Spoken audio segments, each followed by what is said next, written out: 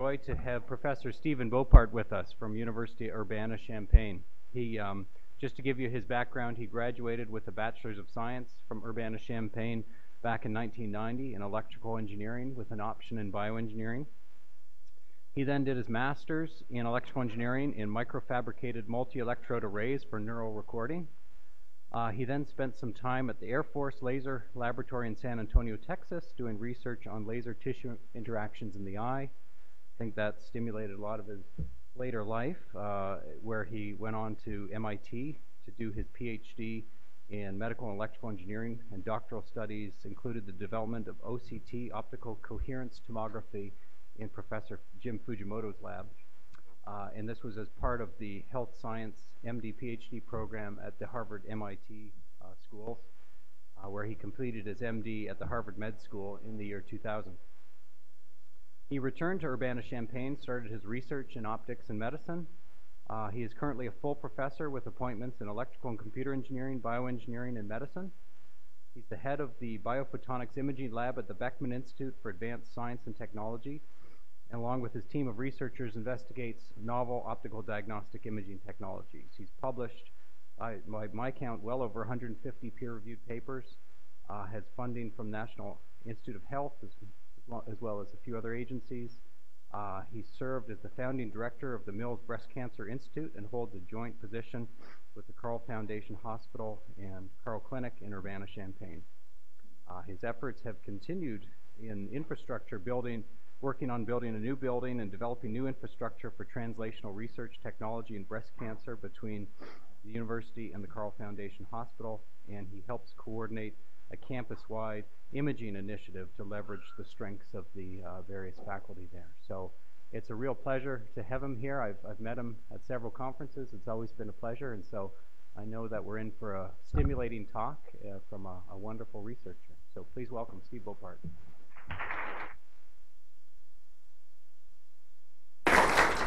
Well, well, thank you very much, Brian, and, and thanks to all of you for that, uh, that introduction and, and welcome.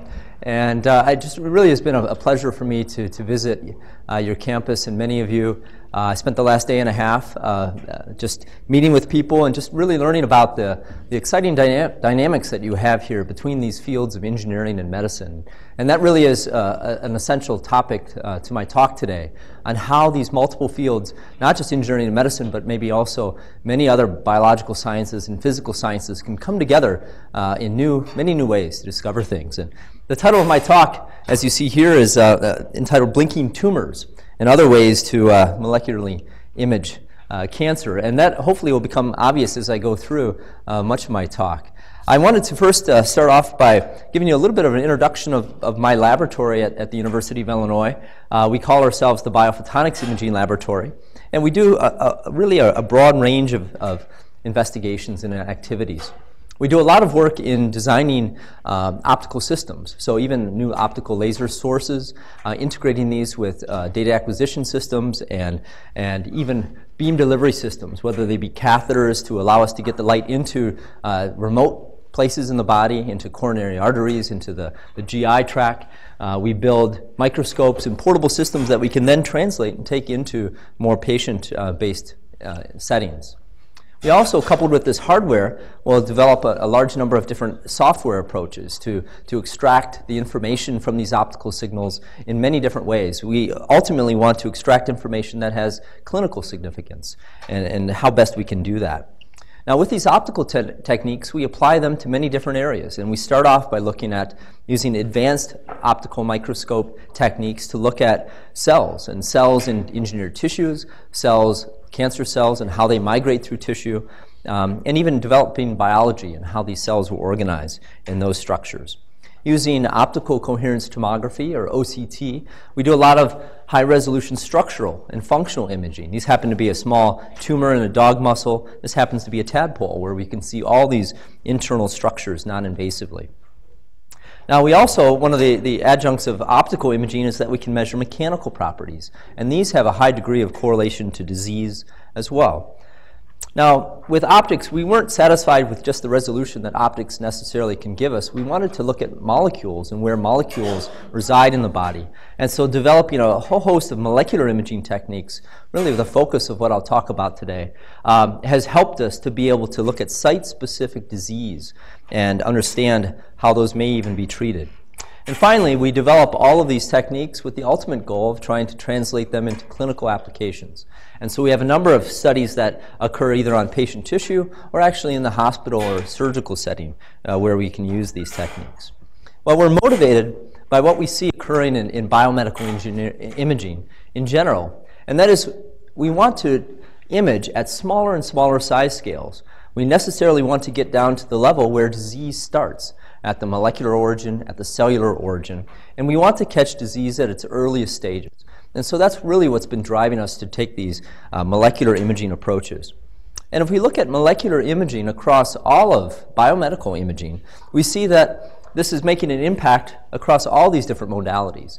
So whether it be magnetic resonance with a lot of the spectroscopy or contrast agents that can be added to target to specific uh, sites, or nuclear medicine, optical imaging, X-ray CT, or even ultrasound that uses small little microbubbles uh, to provide contrast and label cells and tissues. We see that there's this general trend in imaging to push to these smaller and smaller molecular size scales. Well, if we look at optics, what unique advantages does optics have for molecular imaging? And this is sort of a, a metaphorical diagram of a contrast agent, an optical contrast agent. And it's really meant to, to show that there's many, many parameters and options that we have available to us. If we start at the core and we think of some platform, whether they be a nanoparticle or a little liposome or a microsphere, these each can have different optical properties. Fluorescence, bioluminescence, maybe they absorb light, um, maybe they're birefringent and change the polarization state of the light.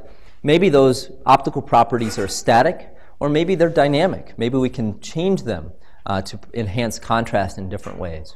And so then we can detect those optical signals, maybe the amplitude or the phase of that optical signal, or maybe different wavelengths of that signal, and then apply it to this wide range of medical applications. And that's really what this is meant to show is that if we look at optical imaging, we have lots of different options available to us and different parameters that we can explore. Well, one of those that I want to focus on is optical coherence tomography, or OCT. And this is a technique that is pretty much the optical analog to ultrasound.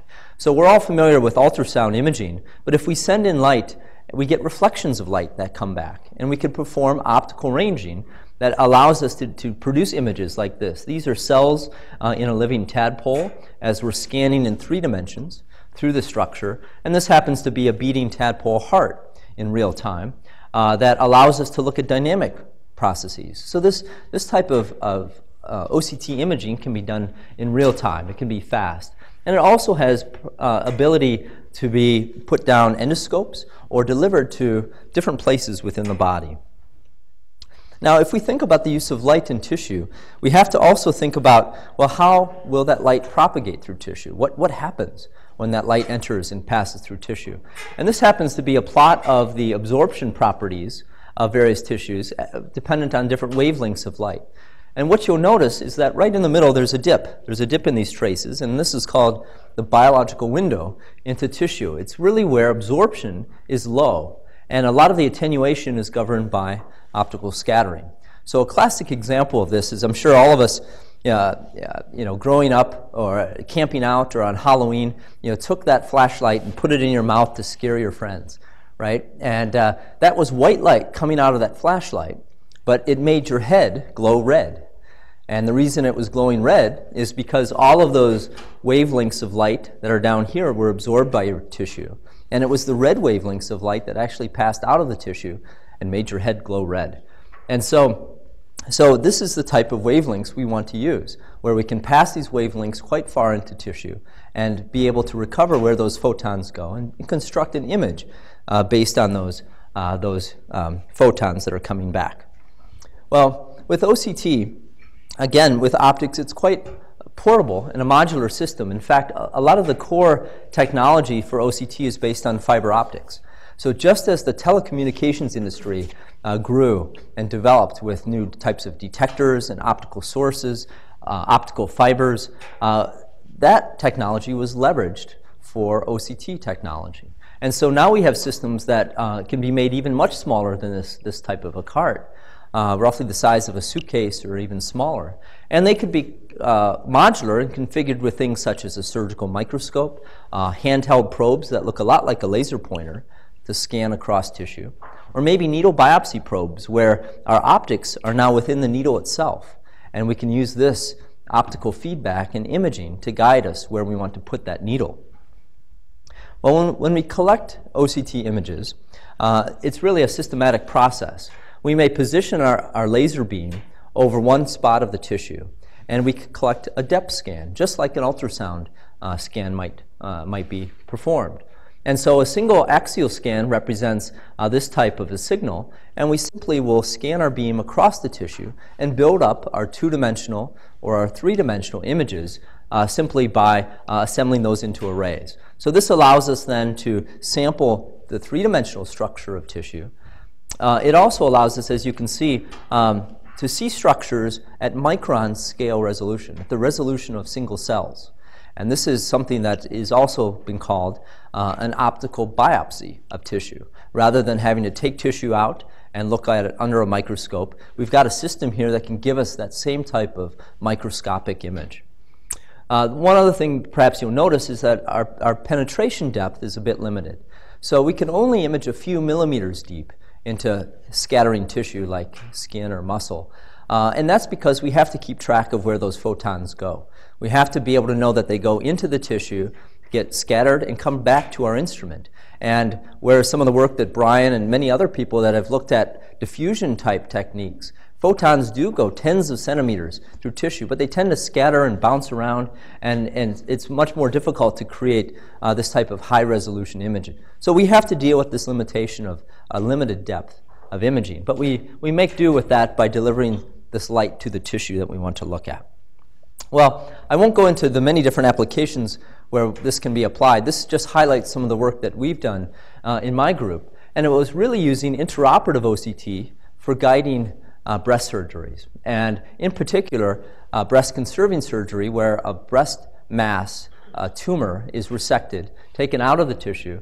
And what's of interest is whether or not that specimen has a positive margin. If there's any tumor cells left on the margin of that specimen, that means there's tumor cells left behind in the patient. So we did a, a study that looked in, and clearly identified normal margins from those that are abnormal. And when we start seeing these dense collections of, of scattering structures, these are cells, these are dense tumor cells that scatter very differently compared to normal margins. And this is just the, the actual histology section to compare with what we can collect in the operating room in real time. And so this is one method which we feel now can reduce or perhaps even eliminate the need for patients that have to come back for second or third surgeries. Uh, that's um, you know, often found after the surgery uh, occurs. Other things we do intraoperatively is look at lymph nodes, which tend to tell us whether or not the cancer has spread. And, and like I said, guiding these types of needle biopsies to localize tumors. So that's just one example of, of where we eventually want to go with many of these techniques. Let's turn a little bit more uh, attention to the topic of, of molecular imaging. And if we think of contrast, of how contrast is generated in these images in OCT, we see that there's many ways that that image can change.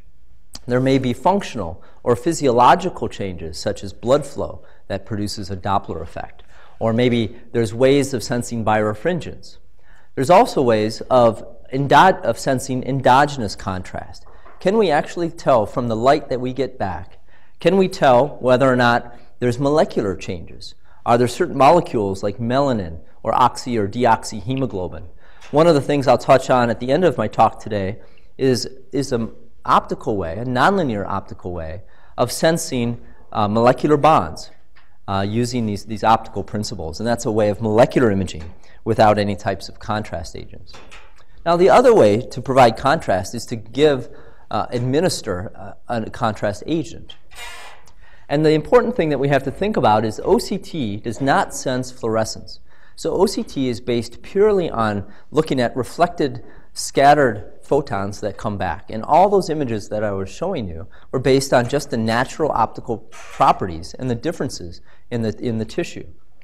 Well, there's also a wide range of fluorescence techniques that, that uh, uh, rely on putting in fluorophores to label structures. I just want to make the point that this is a very different type uh, of those. When we design these probes, we have to think about the engineering issues of how big they are, where they might go as they circulate through the body, are they biocompatible?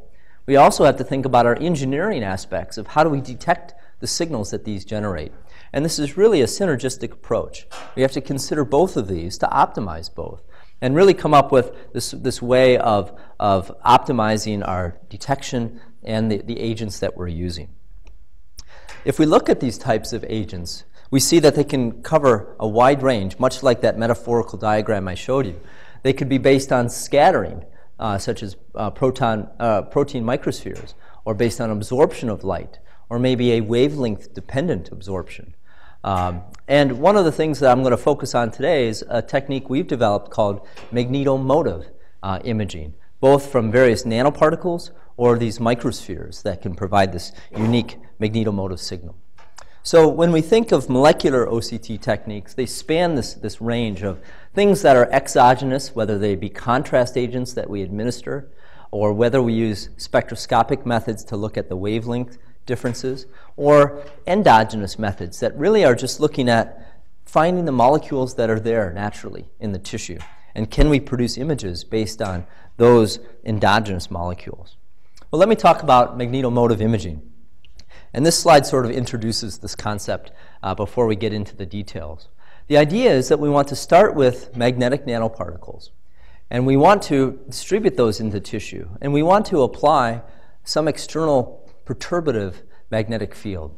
And it's actually going to cause those magnetic nanoparticles in the tissue to modulate, uh, to, to move up and down, and to be detected optically. And we can then change from a standard OCT type image of a tumor to one that we can actually identify uh, and with this enhanced magnetomotive contrast. Uh, and, and as you'll see, there's many other types of um, uh, benefits we can gain from that type. So these targeted imaging uh, has some, uh, some restrictions on what we want to do with these contrast agents. They, of course, have to be uh, biocompatible. They have to be small enough to be able to be injected, say, into the, into the bloodstream, to actually get out of the bloodstream and find a target, a tumor. And finally, have this molecular specificity so they only stick to uh, the tumor and, and nowhere else. Well, we found that these magnetic agents are actually quite uh, interesting to use because they're externally controllable. They, in fact, also can be used for MRI.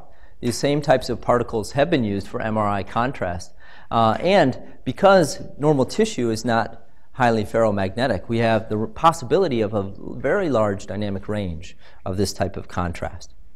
Well, these are some electron micrographs of what these nanoparticles look like. They're on the scale of about 20 nanometers. Uh, these are iron oxide nanoparticles. And, uh, and many of these come from commercial vendors. However, we can also make, our, make these our, ourselves. And what we do is we put these uh, into tissue, into our tissue sample. And the difference for our magnetomotive system is that we use a standard OCT system, but now have that electromagnet that's really small and just over the tissue. It's controlled by a power supply that allows us to switch this on and off. And when we switch this on, it's going to exert, that magnetic field is going to exert uh, a force on these particles. And that force is going to be proportional to the particle volume it's actually proportional to the magnetic field, the, the gradient that's produced in the tissue. And even though we may have a very small particle, uh, we use very low field strengths, uh, just 0.09 Tesla or so. And you can see that it's just a small force, a small perturbative force on this particle. But it's enough for us to sense uh, this change. We see these types of changes uh, when this particle is moving up and down the OCT signal actually will change in amplitude and change in phase depending on how that particle is moving up and down. And these are just examples. This is a phantom where we apply different uh, modulation patterns of our magnetic field, and we can see these particles tracking this type of modulation and providing this type of tissue contrast. When we quantify this, we really see that these particles are really only moving on the order of about a, a few hundred nanometers. So extremely small displacements. Now, if we change, of course, the field strength, we can, we can move these particles over larger distances. But we do have a form of external control that allows us to, to, to, to keep track, not only control where these particles are going, but actually measure and, and keep track of, of what they're doing. So this work, this started, some of our first publications were back in 2005, and we started by labeling uh, macrophages uh, that tend to, these are cells that tend to engulf anything foreign to them, and uh, they will engulf these magnetic particles. And if we then suspend these cells into a three-dimensional gel, uh, and we use standard OCT, these tend to show up as just very amorphous blobs of signal. Uh, these, these cells are about at the resolution limit uh, for our system. But then if we use our magnetomotive approach, we can actually see which of those cells have taken up this iron oxide. And they show this magnetomotive type signal. It's a way of labeling. And in fact, only about 50% of those cells had taken up uh, that magnetic uh, contrast agent. So it's a way of labeling cells. It's also a way of seeing um, contrast within tissue. This, these are uh, magnetic nanoparticles that were injected into skin.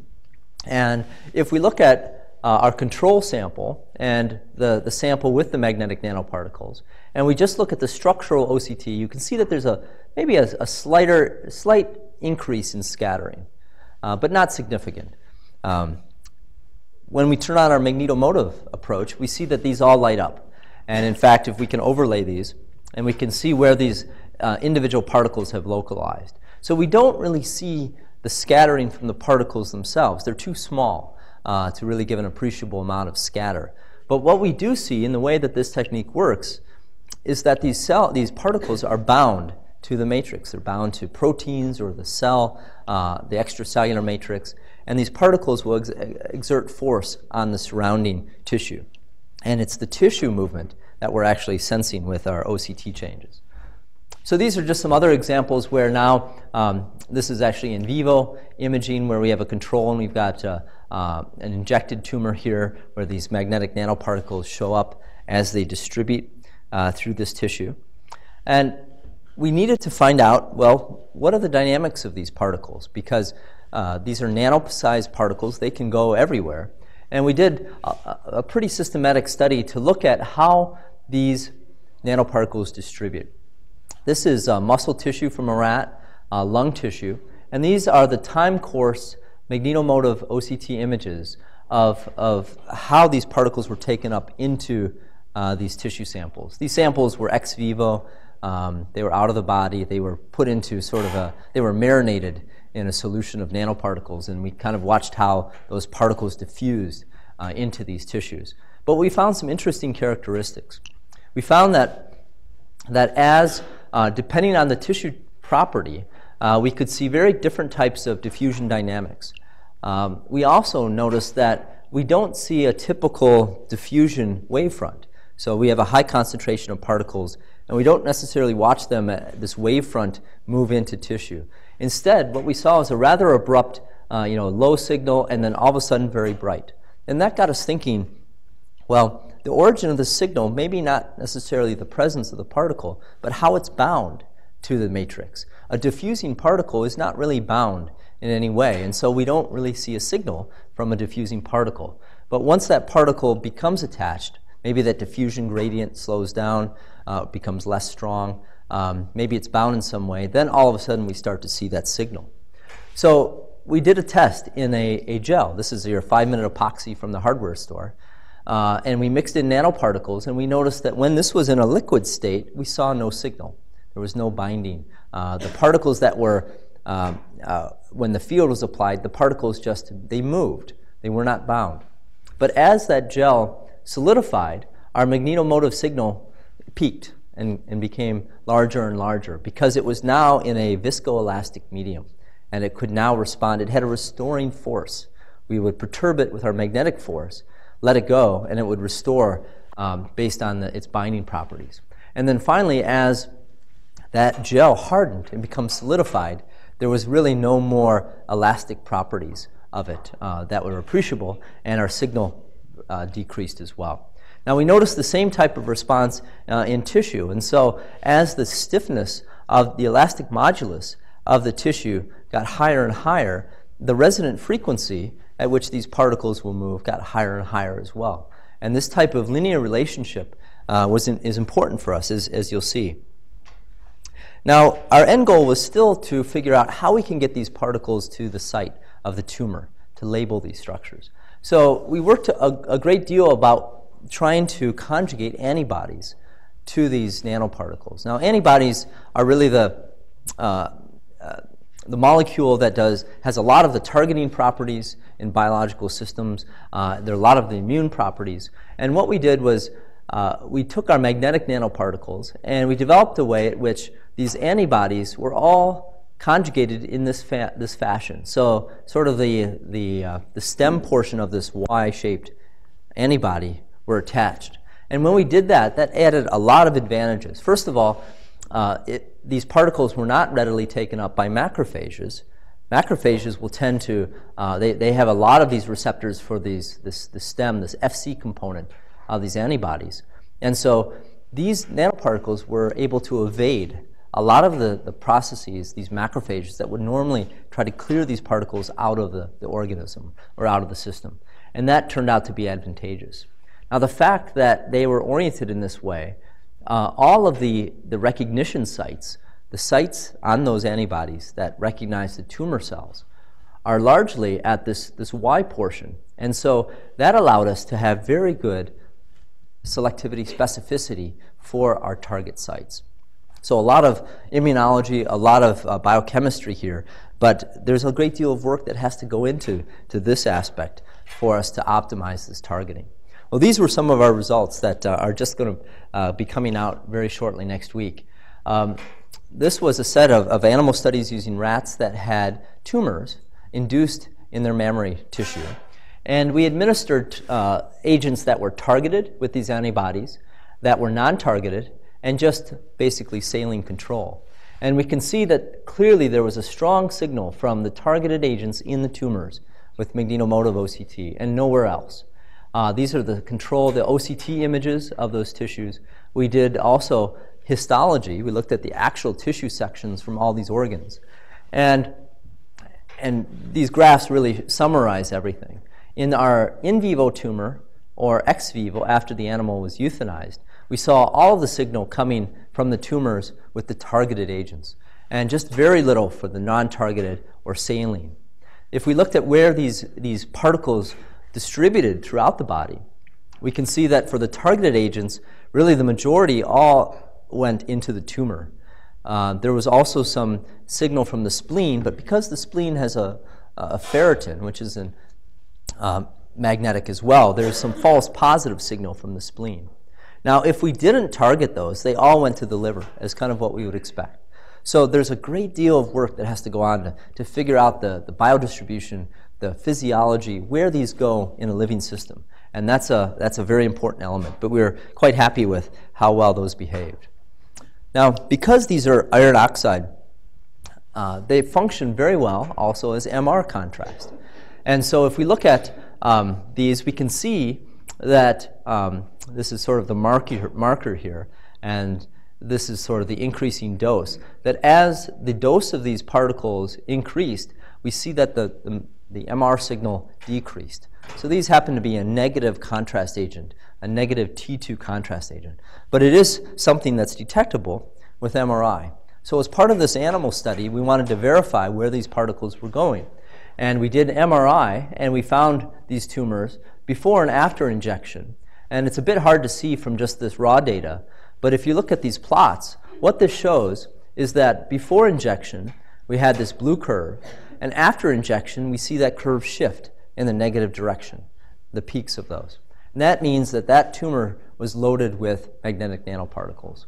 If we used uh, in this case, non-targeted, we see that there's kind of this equivocal uh, change.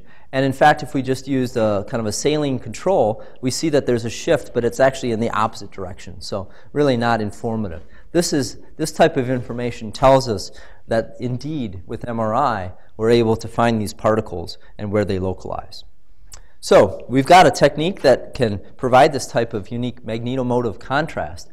The other aspect, because we are physically perturbing these particles, we can do what's called elastography, and we can measure the biomechanical properties of tissue. So this is an, an OCT image. It's an amplitude-based image of just a phantom, a tissue phantom that has scatterers in there. And um, we had to not only develop a phantom that had looked optically like tissue, but also now mechanically like tissue. So we had to tailor the silicone matrix to get the right elasticity, um, the right mechanical properties. And then, we, of course, we added our magnetic agents that we want to sense. When we, when we administer these magnetic transients, when we switch our magnetic field on and off, if we look very closely at these signals, we see that there's perturbations uh, in these, these particles as, as we've been imaging before. Uh, this happens to be what's called an M mode. So we're focused, we're fixed at one position in our sample, and we're looking at this now over time instead of uh, uh, producing an image. If we look at these transients more closely, we see this, this sort of underdamped oscillation, which is, is classic for a viscoelastic material. And we see that as we turn our field on, we see both an amplitude and phase fluctuations. And as we shut that off, we also see similar types of fluctuations. So by, by actually recording the optical signals that are fluctuating this way, we can back out the viscosity and the elasticity of these materials at the, the micron scale where these individual particles are localized to. And this gives us a very unique capability because uh, it's often, when mechanical measurements are made on tissues, uh, it's often over the bulk and it's sometimes very difficult to, to sample the mechanical properties on this size scale. So much of this work was done um, in phantoms to really demonstrate that we can measure this material elasticity. And what we can see is as the elasticity or the stiffness uh, of this material changes, so does this, uh, this, these oscillation frequencies. And in fact, we've got a, a very linear relationship between the elastic modulus and what this frequency is that we can measure. So here we have a way, again, of, of probing at the micron scale the mechanical properties of tissue. And this is actually where this term blinking tumors or blinking tissues came about.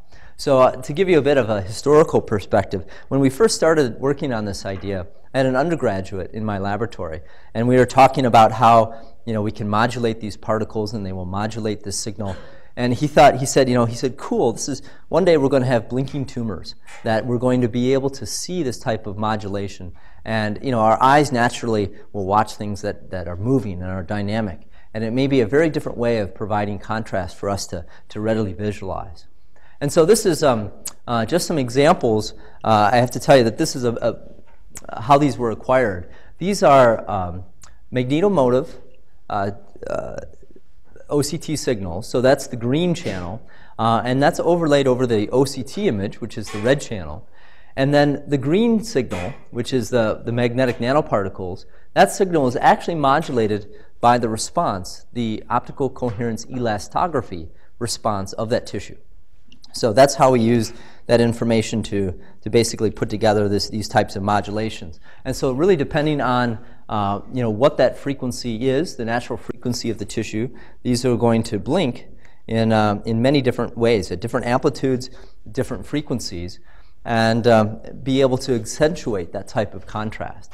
And where we want to go with this is, is to acquire a system that's fast enough where we can not only do this on the tissue level, but at the column, single column level, and even at the pixel by pixel level. So eventually we wanted to get to the point where uh, our data, you see just this twinkling that perhaps is going on throughout the tissue. And that blinking, uh, the amplitude and the frequency corresponds to actually the mechanical properties of the tissue uh, at that site.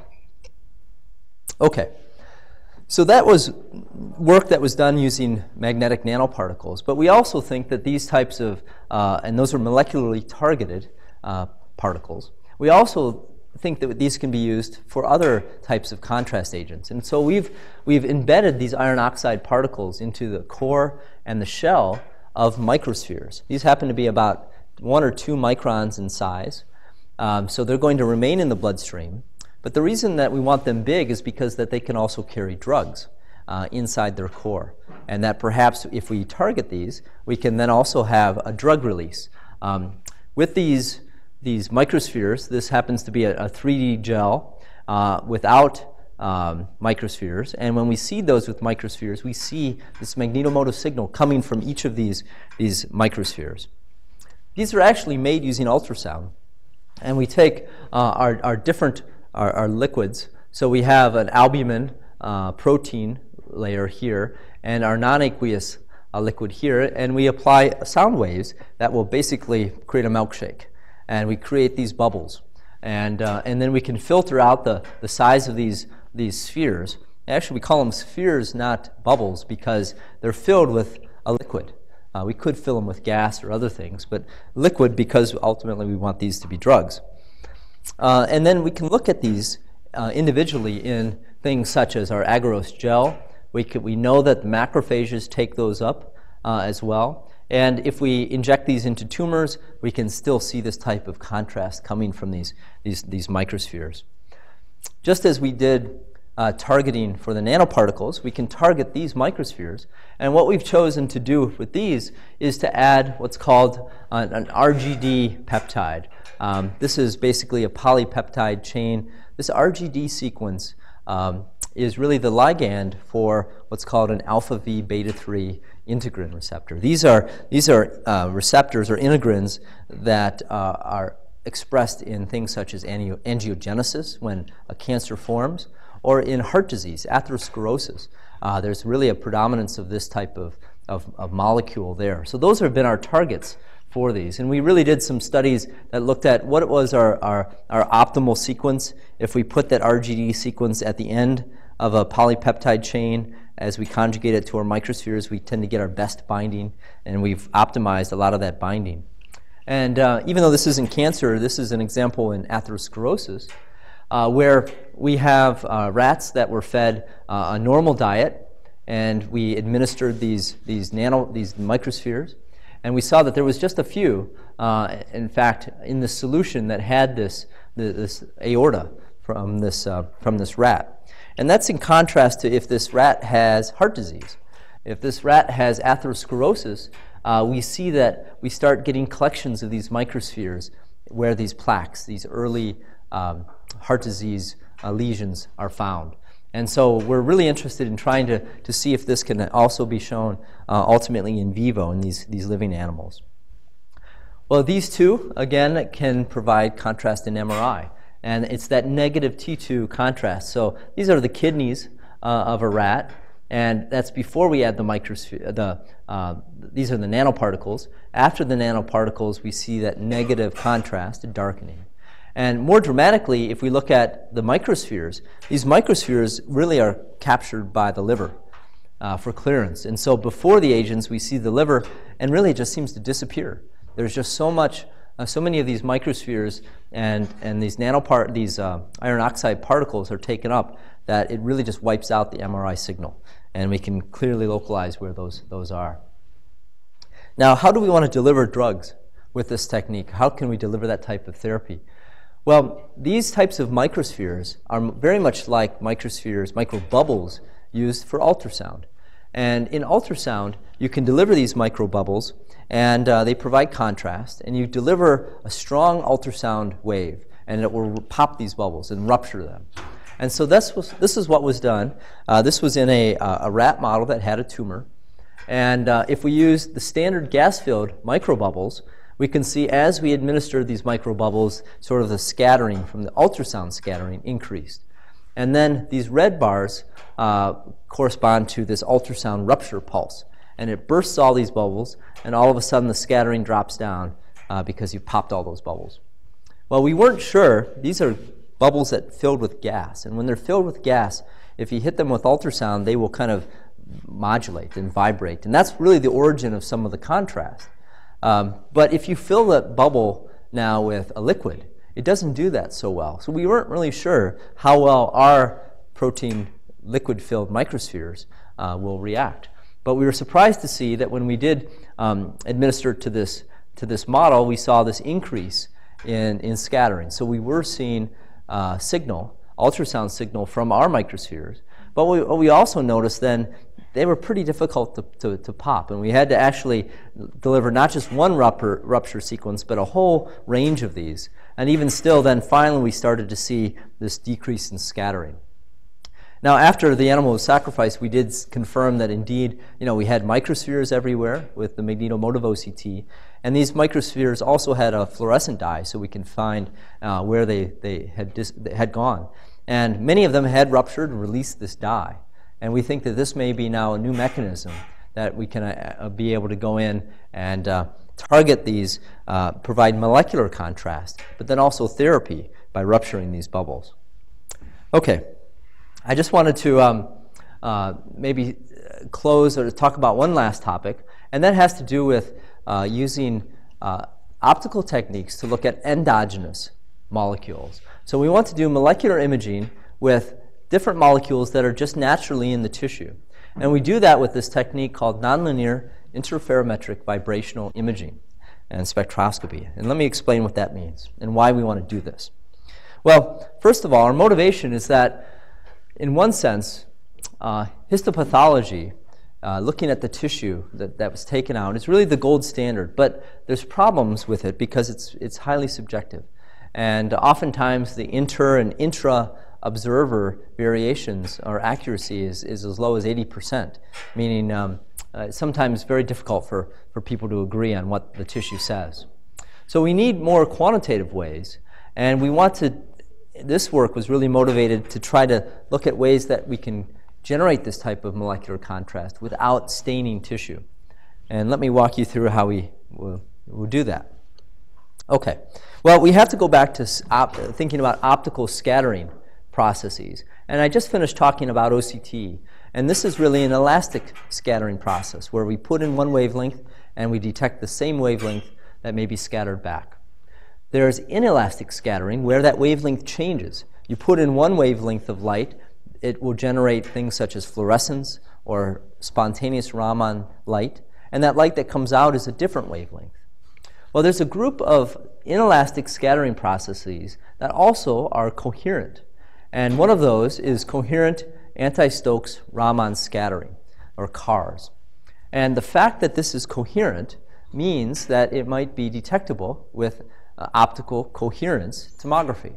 And so we applied the same principles that we, we developed in OCT to now looking at this coherent signal uh, coming from molecules in tissue. Now, I won't go through all the, the energy level diagrams. What I, to simplify what CARS does is basically think about that we have all these molecular bonds in our tissue. Okay, a carbon hydrogen bond is just one example. And naturally, those bonds are going to resonate at some frequency or vibrate at some frequency. If we put in light that has two different wavelengths, and the difference of those two different wavelengths corresponds to that vibrational frequency, it will resonantly start vibrating. It's kind of like pushing someone on a swing, right? You want to try to push at the same frequency, and every time, if you get time it right, that person is going to start swinging higher and higher.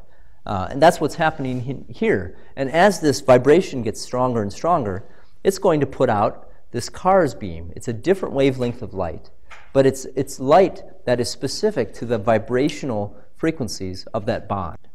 Now, that light is coherent with the light that we're putting in.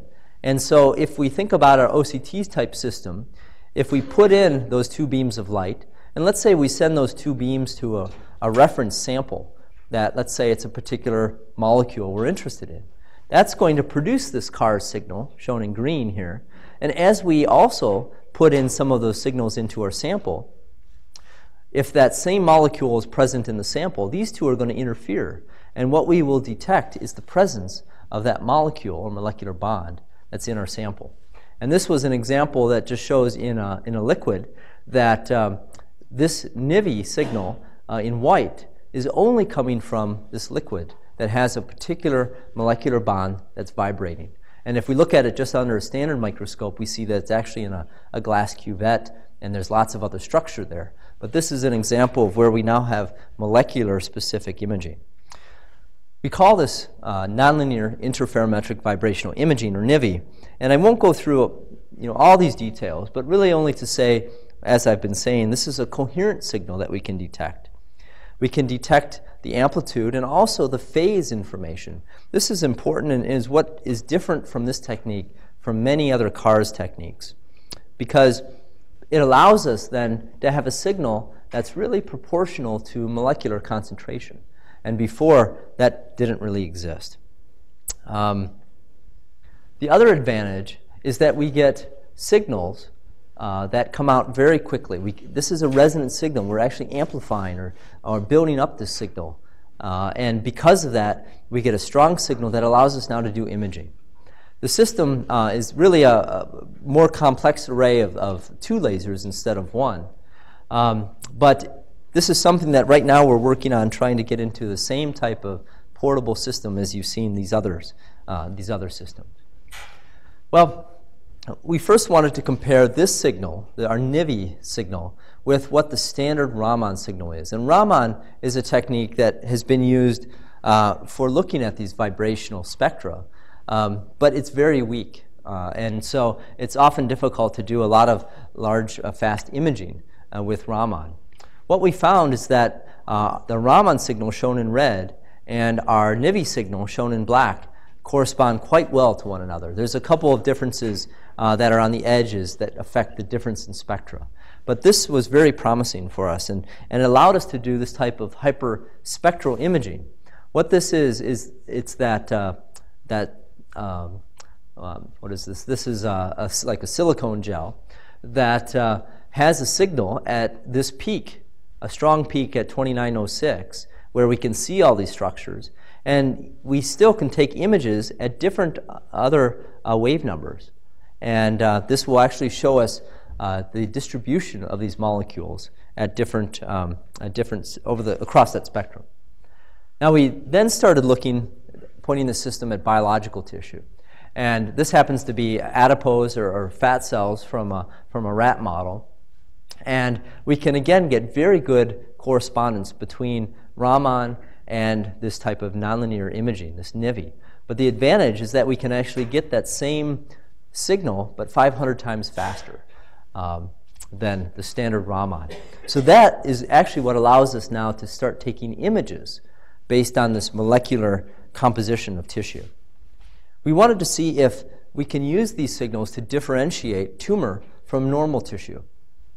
And do this again without contrast agents, just looking at the vibrational uh, uh, spectra coming from these, these different molecules. And so we had our different uh, beams, our laser beams that came in to our sample that's on our stage. Uh, and then we looked at the spectrum on a detector, and we produced images now of tissue, different tissue types from, from this rat model. And things such as adipose tissue, and this is the, the, the tumor tissue. Um, we noticed within this, this, this, this data that we could distinctly see differences between normal spectra, which is shown in blue, and tumor spectra, which is shown in red. And in fact, if we look at what those signals are for collagen and methyl oleate, which is uh, basically like a lipid, um, we can see that they, they actually match quite well. And so what we're, we're, we're measuring here, the signal is predominantly collagen, or a fibrous protein that's present in tumor, versus lipids that's present in, in the fat, uh, the adipocytes. When we take our images then, we can then begin to do spectral analysis and figure out pixel by pixel, you know, is that lipid, is that collagen, what molecules maybe are present at each of these, these pixels. So we did a study um, looking at different uh, mammary tissue from these rats and with very good uh, accuracy, 99%, uh, well, let me back up. So these, uh, from these uh, sections, we were able to classify normal regions from tumor sections. And each of these little points and the ovals around each of them represents kind of four standard deviations away from, uh, from the mean. And drawing this, this sort of separation line was actually quite easy.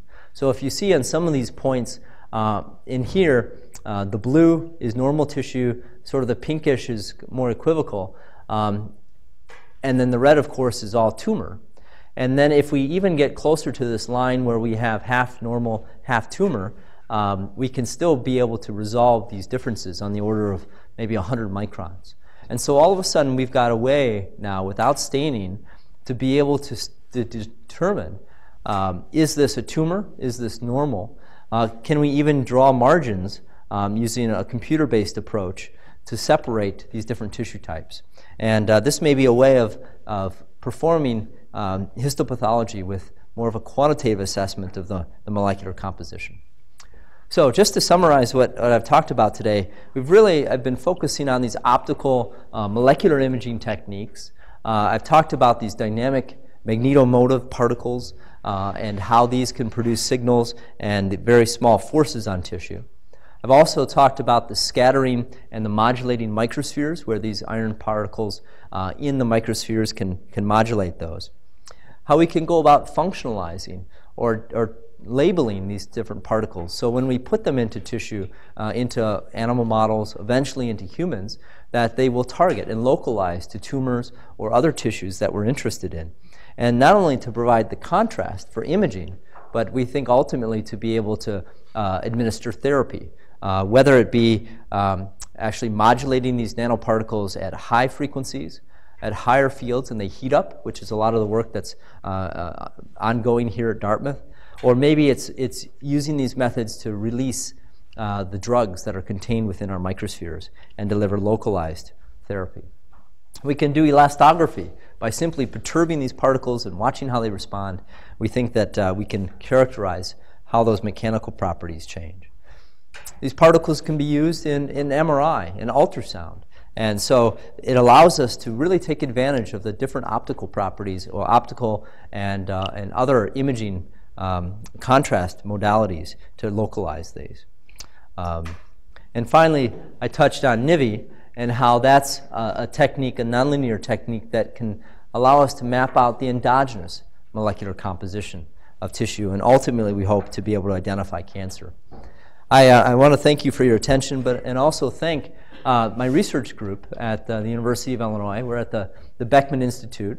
And uh, just really what I want to emphasize is, is that this type of work is, is highly interdisciplinary, much like the work that's going on here at Dartmouth and, and this, this combination of engineering and, and medicine. And, and it's bringing people from many different backgrounds engineering, physics, chemistry, uh, the life sciences, immunology, a lot of our clinical collaborators that come together. Uh, it's really that type of synergy that has to, has to sort of click for you to, uh, to begin to tackle problems that span all these different disciplines. So I think that's certainly something that um, um, you know, Dartmouth has embraced, but I, I think that's really our future in solving a lot of these complex problems that we face. And finally, just all of this really wouldn't have been possible without our, our financial support from our federal agencies. And uh, thank you once again for your attention.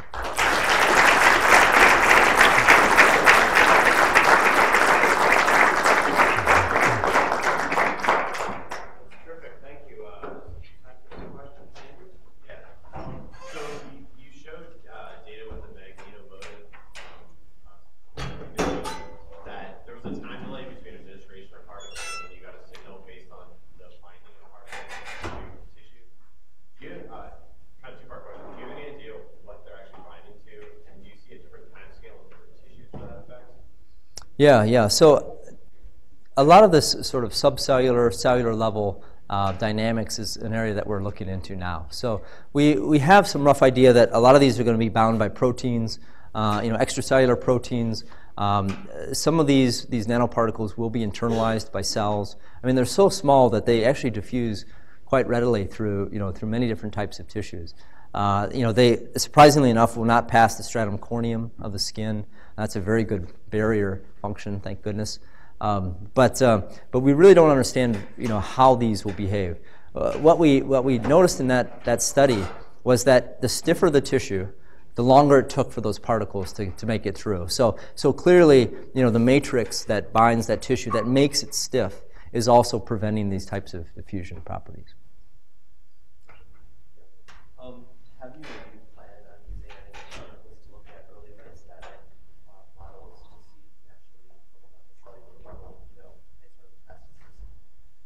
Yeah, yeah. So the, the question was relating, can we use these particles to look at early, like metastases? And um, what we hope is that if, if, and this is really the hope for, I think, much of, of the work in the field, is that if we can get the, the sensitivity and specificity, the targeting ability of these particles up high enough, that we're able to be able to administer these systemically, and they will localize to even metastatic disease. Um, we've done some studies where um, that we've looked at administration of particles directly into the lymphatic system. And, and so, you know, much of the drugs and everything to treat cancer systemically has been given intravascularly. Um, but we know that metastatic cancer also spreads readily through the lymphatics. So we think that there may be some ways of, of administering in both routes. And we're trying to explore if we put these particles into the lymphatic system uh, that will circulate throughout the lymphatics, uh, we might be able to target metastatic disease that way too. So I think there's a lot of interesting things to do in that area. Maybe I'll ask a question. Um, so I was really intrigued by the molecular pathology, and I- I've seen this over the years. So I guess a, a pathologist might say, not ones, but they might say um, there's also a lot of pattern recognition in morphology. Right? So I'm sure you've thought about this. How do you blend the intense spectral information with the first or pattern? Yeah. Yeah, yeah. So a lot of these images. No, no, no. A lot of these images were, um, you know, fairly low resolution just because of the way we acquired that data. Uh, but uh, but this this could be acquired at the same resolution as an optical microscope. So we would be able to have, you know, the same type of, uh, you know, subcellular resolution that the pathologist was, routinely uses to make those diagnoses.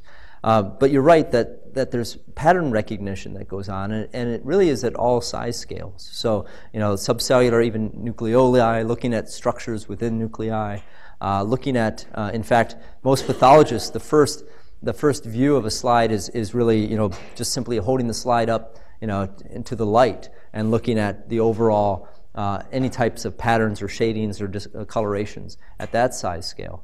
Um, and I think coupled with uh, oops, coupled with a lot of the other uh, methods of pattern recognition, being able to go in and look at uh, how we can take these molecular signatures coupled with pattern recognition uh, really can improve um, our, diagnostic capabilities.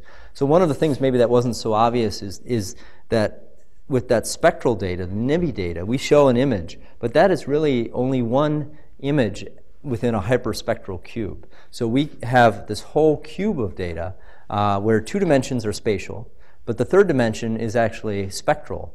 And at each spectral wavelength, that tells us a different molecular composition of the tissue. Um, we can then look at, within each image, the patterns. And, and all that information can kind of come together, I think, in a unique uh, diagnostic frame.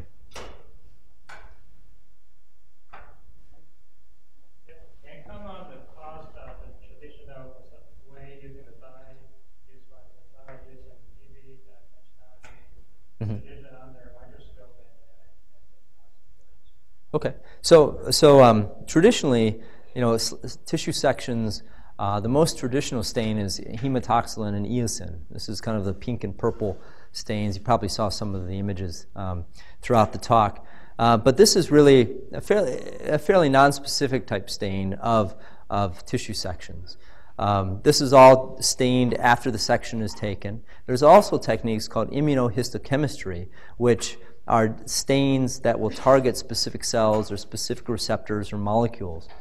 And, uh, and, and that I think is becoming more and more advanced. Uh, that is one way, again, of labeling um, you know, all these structures.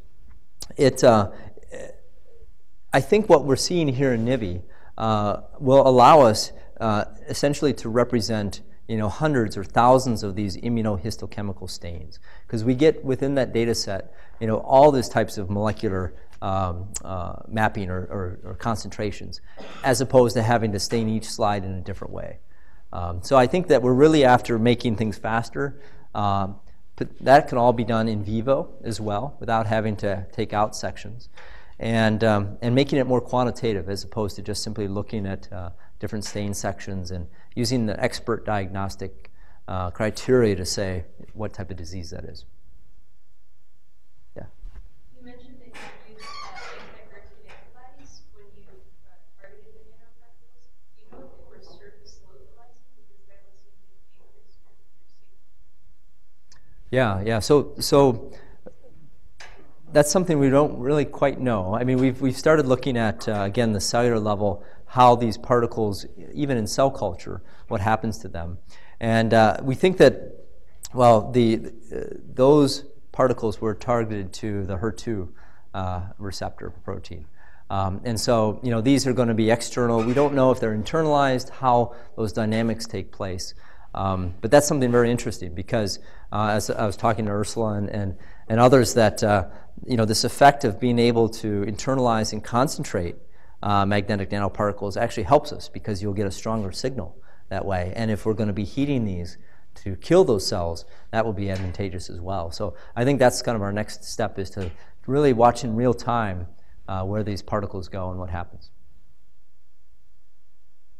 Last question. Yeah, you mentioned an analog to ultrasound, but do you transmit an optical pulse, and what on earth is your time resolution Mhm. coming back? It's fast. Yeah, so, so we actually, uh, it's the analog to ultrasound because instead of sound waves, uh, we put in light waves.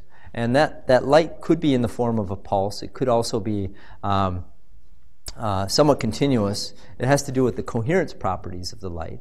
But instead of using the time gating that ultrasound uses in its detection, we use interferometry. So with interferometry, we have a reference arm, and we can compare uh, how the light traveled in a sample, and we compare it to how it travels in a reference. And it's that way where we can get the time resolution down to picoseconds, femtoseconds, you know, on the scale of the light propagation itself. Any chirp? Any chirp? Any chirp? Yes, yes. We have lots of trouble. Um, so there's a lot more technology. You know, hope, maybe it's a good thing I made it, you know, too simple here. Um, but it's a lot more complicated than it seems. Um, because yes, we have to worry about how pulses propagate through tissue. They change their optical properties. They get dispersed. Uh, that decreases the resolution of the sig- of the pulse coming back. Uh, so there's lots of other uh, attention to detail here. But, um, but it, it, seems to work. OCT um, has been a, a, technique that's been commercialized now. It's really heavily applied in ophthalmology, and there's many commercial systems out there. Um, if, if you haven't already in your lifetime, you will have an OCT scan, at least of your eye. Um, uh, and uh, I think that we'll start to see techniques like this now move into uh, you know, non-ophthalmology applications. Can you compare uh, the depth section capability of the CARS type OCT and the signal is generated inside the tissue, right? Yes. That's only one pass from priority. Yeah, yeah. There's there's a lot of um, when this car signal is generated. You're right. It, it does occur at internal. Uh, it's produced, you know, wherever this molecular vibration takes place. A lot of the signal that's generated in CARS is actually forward directed in the direction that the, of the incoming light beams. And what the, re- the signal that we detect, um, the configuration I showed, we were really collecting the light in the forward direction. But what happens in, in tissue is that forward directed CARS get scattered back. And, and so we can still use uh, an OCT type system and detect that backscattered light. Um, now, in terms of resolution, these are things that we, we, we haven't done much in vivo, um, but um, we will see uh, perhaps a decreased resolution uh, because that signal that may be generated in one place is going to be scattered from many other structures. Uh, still, we can use coherent gating to really only determine the depth at which we're going to measure that signal from. So I, I think that as we move this into uh, you know, depth resolved CARS, uh, and into tissue, a lot of these other issues are going to come up. Okay, well, if anybody thinks of any questions, we're bringing uh, Steve to the celebrating Thayer dinner tonight. So